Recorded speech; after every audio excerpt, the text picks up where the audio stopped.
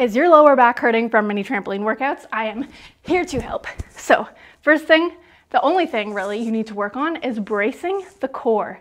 So I know a lot of trainers are like, engage the core, brace the core, tuck that rib cage in, and you're like, what does that mean? Okay, so I'm gonna tell you what that means. And the main reason this is gonna help protect that lower back is because when you keep this engaged, this is now safe. All the pressure is gonna be here, okay?